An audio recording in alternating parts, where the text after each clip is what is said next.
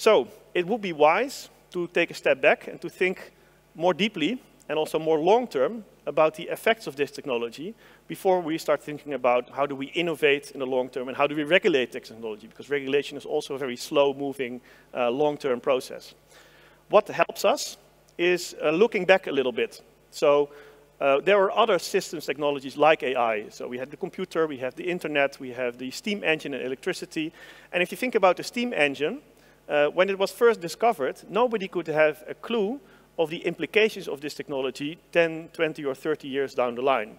The first steam engines that you see here in this, in this uh, drawing, they were used to uh, automate uh, factories. So instead of people working on benches uh, close to each other so they could talk, now, now the whole workforce was essentially designed along the axis of this uh, steam engine. So everything would be mechanically uh, automated much more uh, easily, much more efficient. It meant a lot of changes to the workforce, of course. It also meant that work could go on uh, uh, hour after hour, also in the evenings and in the weekends, because uh, now, it, I mean, you have this machine, you want to keep using it. I guess it's a, a, bit the same for ASML nowadays. It's a very expensive machine, so you want to make sure it runs all the time. Uh, but in the case of the uh, steam engine, that led to a lot of societal changes. So you had uh, labor forces, you had unions, you had new ideologies popping up.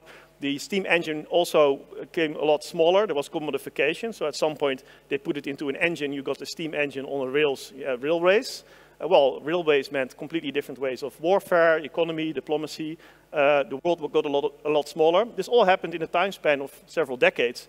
But we will see similar effects that are completely unpredictable for AI also rolling out over the next couple of decades. So it's good to be aware of those. And also, most of these effects of the steam engine were not technological. They were societal, economical, sometimes political. So it's also good to be aware of this when it comes to uh, AI.